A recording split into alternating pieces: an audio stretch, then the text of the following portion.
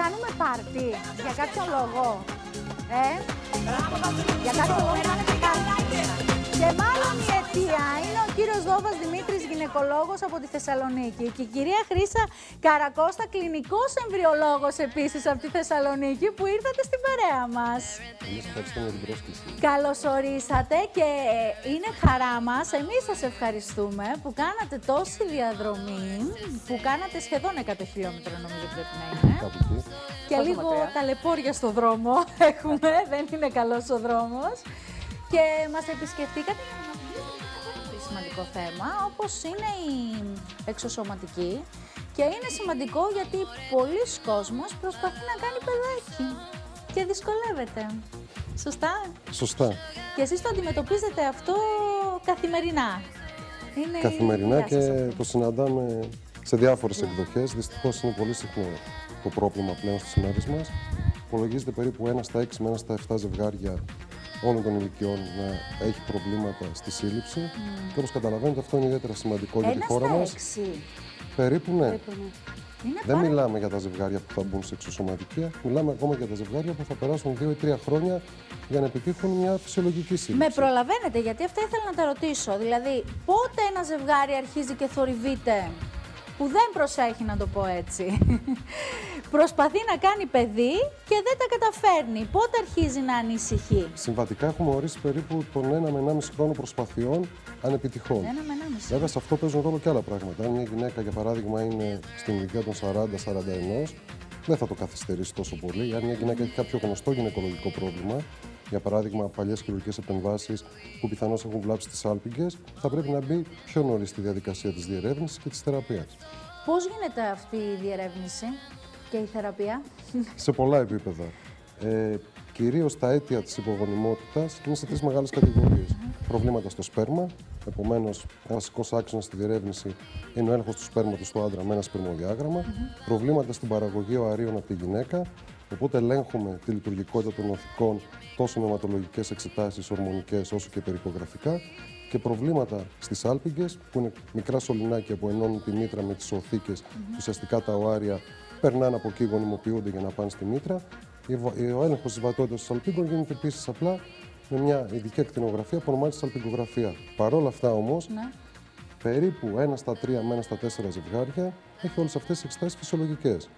Αυτό σημαίνει ότι είτε υπάρχουν αίτια που χρειάζονται πολύ πιο εξειδικευμένους τρόπους διερεύνησης, είτε υπάρχουν αίτια που ακόμα και εμείς δεν τα Συνήθως γνωρίζουμε. δηλαδή κάνουν τις εξετάσεις και δεν ε, βρίσκουμε κάποιο πρόβλημα από αυτά. Στις περισσότερες περιπτώσεις βρίσκουμε. Δεν βρίσκουμε πρόβλημα περίπου στο 30 με 35%.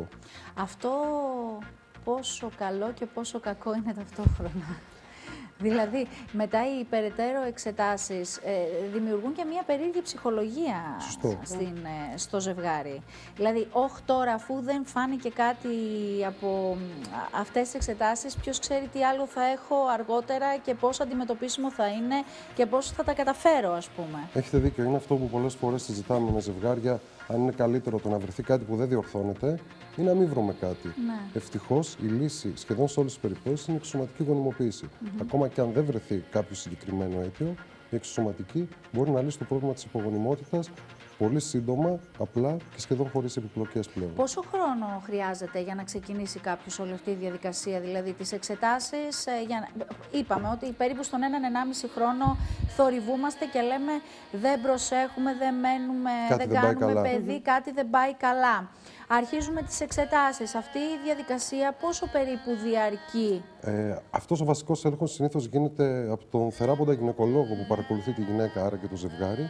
Συνήθως μπορεί να ολοκληρωθεί σε διάστημα ενός με δύο μήνες και μετά, αναλόγως με τα αποτελέσματα, προχωράμε στην αντιμετώπιση. Λοιπόν, σας έκανα νόημα, με πήρατε στον αέρα για να γράψουμε το τηλέφωνο και τα στοιχεία των καλεσμένων σας παρακαλώ πολύ, γιατί ξέρω ότι είναι τόσο σημαντικό το θέμα που υπά... και το τηλέφωνο επικοινωνίας του στα... το σταθερό μας εδώ στο κανάλι, αν κάποιος θέλει να κάνει ερωτήσεις, για να βοηθήσουμε όσο μπορούμε.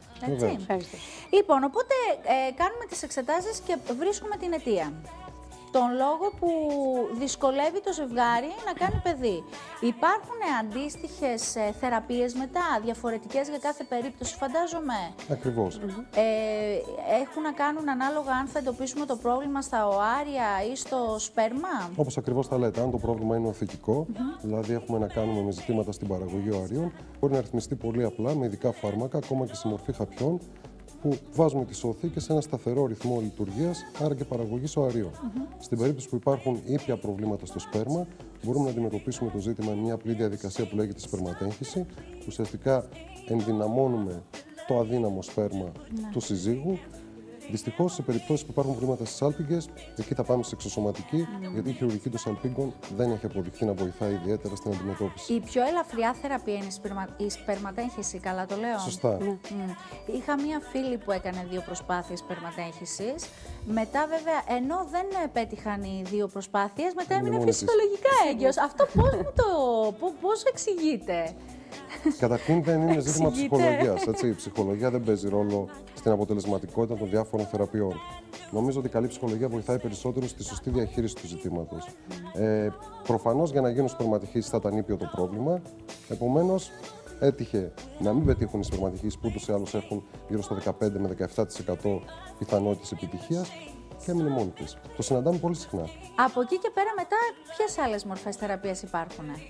Είναι πολλές; Ε, μετά το επίπεδο της σπερματέχηση, πλέον περνάμε στην εξωσωματική γονιμοποίηση. Εξωσωματική.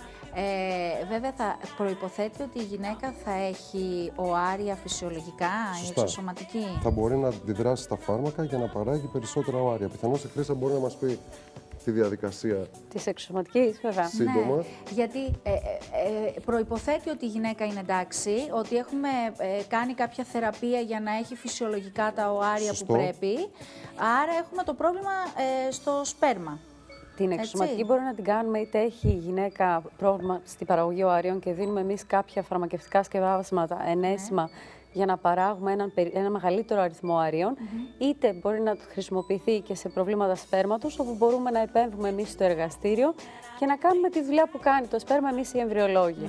Ε, και στις δύο περιπτώσεις η αγωγή είναι ίδια, βέβαια εξατομικευμένη σε κάθε ζευγάρι ξεχωριστά, δηλαδή ο γυναικολόγος επιλέγει ποιο πρωτόκολλο και ποιες δοσολογίες φαρμάκων είναι οι κατάλληλες για την κάθε γυναίκα. Αφού ξεκινήσει αυτή η διαδικασία και περάσει ένας, ένα διάστημα παρακολούθησης, γίνεται μια μικροεπέμβαση που λέγεται ολυψία, όπου ο γυναικολόγος, ο εξειδικευμένος, παίρνει τα οάρια από τις οθήκες, τα, τα, τα δίνει σε εμάς στο εργαστήριο, όπου αρχίζει η επεξεργασία πλέον στο δικό μου χώρο, όπου προετοιμάζουμε το άρια, προετοιμάζουμε το σπέρμα, γίνεται η γονιμοποίηση. Και μετά τοποθετούνται στη γυναίκα. Ναι, αφού γίνουν τα έμβρια, μέσα στο εργαστήριο. Η δηλαδή γίνεται έξω, έξω από το γυναικείο σώμα; Έξω, έξω στο σωματική. Εξωσωματική γονιμοποίηση. Οπότε λύνουμε όποιο ζήτημα πιθανό υπάρχει, ακόμα και αν δεν μπορούμε να βρούμε Ποια τι προκαλεί το πρόβλημα; Πολλές φορές όμως βρίσκουμε το πρόβλημα στη διάρκεια της θεραπείας. Δηλαδή, η πρώτη εξωσωματική πέρα από θεραπευτική, πολλές φορές είναι και διαγνωστική. Βλέπουμε προβλήματα στη γονιμοποίηση, στην ποιότητα των εμβρίων, οαρίων, στην εμφυτευτική ικανότητα. Εξού και η δική σας χρησιμότητα ως εμβριολόγος, κλινική εμβριολόγος. Και χρειάζονται και οι δύο. Πακέτο. Όλοι όταν ακούνε εμβριολόγος έχουν στο μυαλό high-tech πράγματα και fiction, αλλά δεν είναι ναι, έτσι. Ναι, λες είναι κάτι που έχει να κάνει αποκλειστικά με το έμβριο αφού γεννηθεί ή στη διάρκεια της εγκυμοσύνης. Αλλά εδώ βλέπω ότι είναι πολύ, πιο πριν. Επίπεδο, Ελέγχεται και ε, ας πούμε το πόσο καλά έχει γίνει τώρα, δεν μπορώ να χρησιμοποιήσω και ιατρικό όρο γιατί δεν είμαι του αντικειμένου σας. Το πόσο υγιές είναι ένα έμβριο από την πρώτη στιγμή, έτσι. διαδικασία που λέγεται προεμφυτευτικός έλεγχος ή προεμφυτευτική διάγνωση και μπορούμε να ελέγξουμε αν τα έμβρια φέρουν κάποιο συγκεκριμένο πρόβλημα. Για παράδειγμα, αν δύο γονείς είναι φορείς του στίγματος της μεσογειακής ανεμίας, ναι. υπάρχει ένας κίνδυνος 25% κάποια από τα παιδιά να πάσχει. Mm -hmm. Εμείς λοιπόν μπορούμε στο εργαστήριο να επιλέξουμε έμβρια τα οποία είτε είναι υγιή είτε φορείς στίγματος και να βάλουμε υγιή έμβρια να γεννηθούν υγιή παιδιά. Ναι. Ε, εκτός, από τα, εκτός από την ε, μεσογειακή ανεμία, ας πούμε, που είπαμε, υπάρχουν και άλλες παθήσεις εμβριακές, τις οποίες μπορούμε να τις αποφύγουμε στην... Ε... Ε, ένας μεγάλος αριθμός, αλλά πρέπει να ξέρουμε γιατί τη συγκεκριμένη ε, πάθηση ψάχνουμε. Δηλαδή, μπορούμε να κάνουμε τον προεμφυτευτικό έλεγχο για συγκεκριμένες παθήσεις. Ε, ο γενικός έλεγχος, ε, αυτό που λέγεται PGS, screening δηλαδή, που γίνεται για 9 χρωμοσώματα δεν είναι κάτι που προτείνεται πάρα πολύ ευρέως, γιατί δεν φαίνεται να αυξάνει πάρα πολύ τις πιθανότητες ε, μιας εγκυμοσύνης. Η δουλειά σας μου φαίνεται εκπληκτική πάντως. Δηλαδή, ε, ε, το, το να σκεφτώ ότι κάτι το οποίο κάνει η φύση σε ένα ζευγάρι, Ναι. Ε, παίρνετε εσείς τα απαραίτητα συστατικά, να το πω έτσι, και το φτιάχνετε μόνοι σας, είναι απίστευτο, είναι ασύλληπτο, έτσι. Μα Προκαλεί- αγχώνεται καθώς το λέτε έτσι. όχι, είναι, είναι πολύ εντυπωσιακό για όσους δεν γνωρίζουμε Ναι. ότι γίνεται με αυτή τη διαδικασία. Βέβαια, ε, σε κάποιους ε, είναι γνωστό γιατί ταλαιπωρούνται. Ταλαιπωρούνται. Και όπως είπαμε στις μέρες μας είναι πολλά τα ζευγάρια που αντιμετωπίζουν αυτό Πάρα το πολύ. πρόβλημα και δεν μπορούσα να το καταλάβω μέχρι τη στιγμή που έμεινα εγώ έγκυος και μου λέγανε τι τυχερή που είσαι χωρίς να το προσπαθήσεις κιόλας. Γιατί το ακούμε πολύ συχνά και είναι ένα μεγάλο πρόβλημα. Ναι. Αυτό. Πόσο, ε, ε, ποιο είναι το ποσοστό επιτυχίας αυτής της διαδικασίας; Εσείς. Λοιπόν, Γιατί θέλουμε να ξέρουμε και τα ποσοστά. Βέβαια. Είναι θέμα Σωστά. ψυχολογίας. Ε, οι στατιστικές μπορούν να εκφραστούν με διάφορους τρόπους. Ε, ουσιαστικά αυτό που μας ενδιαφέρει αφενός είναι τα ποσοστά εγκυμοσύνης, αλλά το τελικό κριτήριο είναι το να γεννηθεί ένας ζωντανό και υγιές παιδί. Γενικά για την ηλικία των γυναικών 30 με 35 ετών, οι πιθανότητες επιτυχίας της εξωσωματικής για μια γυναίκα που ξεκινάει την προσπάθεια είναι γύρω στο 35% και αν ο κύκλος θεραπείας εξελιχθεί φυσιολογικά και έχουμε καλής ποιότητας έμβρια, ανάλογα με τη μονάδα εξωσωματικής μπορεί να φτάσει και το 45 με 50%. Αυτό μπορεί να ακούγεται μικρό σαν νούμερο, αλλά αν το συγκρίνουμε με τις πιθανότητες που έχει ένα ζευγάρι χωρίς κανένα πρόβλημα, όταν πρωτοπροσπαθεί, που είναι κοντά στο 20 με 25% το μήνα, είναι διπλάσιο. Επομένως, η εξωσωματική δίνει εκπληκτικά πραγματικά νούμερα. ναι, όντως. Βέβαια, έχω στο μυαλό μου μία περίπτωση ε, κάποιας κυρίας που χρειάστηκε 8 εξωσωματικές γονιμοποιήσεις. Αυτό ε, πολλές φορές μπορεί να επηρεαστεί και από την ψυχολογία της γυναίκας, δηλαδή ότι απέτυχε η πρώτη, απέτυχε η δεύτερη, απέτυχε η τρίτη και να επι, επιβραδύνει την επιτυχία. Ε, δεν Ή υπάρχει είναι κάποια... κατά περίπτωση. Νομίζω δεν υπάρχει, από όσο γνωρίζω, κάποια μελέτη που να δείχνει ότι η ψυχολογία παίζει ρόλο στα αποτελέσματα. Α.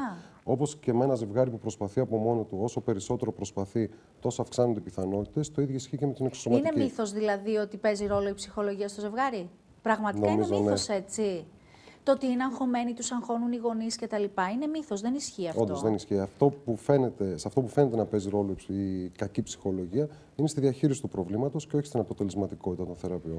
Πο- Υπάρχουν ζευγάρια που αποθαρρύνονται όταν η πρώτη φορά δεν, ε, δεν έχει επιτυχία, παρόλο που υπάρχουν τέτοια μεγάλα ποσοστά; Φυσικά. Εγώ πιστεύω φυσικά και αποθαρρύνονται, αλλά ε, οι ειδικοί γι' αυτό είναι εκεί. Εκεί είμαστε δίπλα σε κάθε ζευγάρι, είτε πετύχει είτε δεν πετύχει, και για να τους συμβουλέψουμε και να τους πούμε ότι είναι ένας πόλεμος, πρέπει να την κάθε μάχη να την κερδίζουμε σιγά σιγά. Εσείς από την εμπειρία σας ε, στον χώρο που ασχολείστε με τις εξωσωματικές ε, και εργάζεστε τόσο καιρό, πόσες, ε, ε, πώς βλέπετε, δηλαδή τα, πε- τα περισσότερα ζευγάρια περίπου στις πόσες προσπάθειες μπορούν να το πετύχουν και να αποκτήσουν ε, επιτυχημένη Η εγκυμοσύνη; μεγαλύτερη πλειοψηφία των ζευγαριών καταφέρνει εγκυμοσύνη στις δύο πρώτες προσπάθειες. Στις Σχεδόν δύο το 80 πρώτες, με 85%.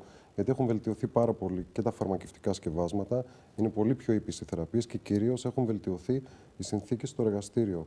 Όπου έχουμε πραγματικά πολύ καλής ποιότητας έμβρια, που σημαίνει και πολύ, πολύ καλά αποτελέσματα. Αυτό είναι εκπληκτικό που μου λέτε. Δηλαδή, στις πρώτες δύο φορές κιόλας να είναι το μεγαλύτερο ποσοστό ε, πετυχημένες, ας πούμε, περιπτώσεις, είναι πάρα πολύ σημαντικό. Wow! Με έχετε εντυπωσιάσει σήμερα πάρα πολύ, όντως. Έχουν εξελιχθεί Ναι. τα πράγματα. Οι πιο πολλοί άνθρωποι έχουν στο μυαλό τους πολύ εργώδεις θεραπείες με πάρα πολλές μέρες. Δύσκολες, ναι. Με ενέσιμα φάρμακα, απαιτητικές επεμβάσεις. Τα πράγματα όμως έχουν αλλάξει τα τελευταία χρόνια. Πάρα Ειδικά οι σύγχρονες μονάδες αντιμετωπίζουν πολύ πιο ανθρωποκεντρικά το ζήτημα. Ναι. Και οι περισσότεροι άνθρωποι που φεύγουν από εμάς μετά από μια θεραπεία συνήθως μας λένε Αυτό ήταν.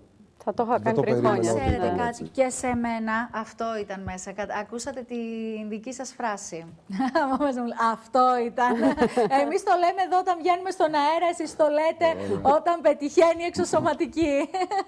ε, είναι όντως εκπληκτικό, γιατί και εγώ στο μυαλό μου έχω όλες αυτές τις περιπτώσεις που σας είπα, που δύο-τρεις ας πούμε, που έτυχε να ακούσω, οι οποίες ε, ήταν έτσι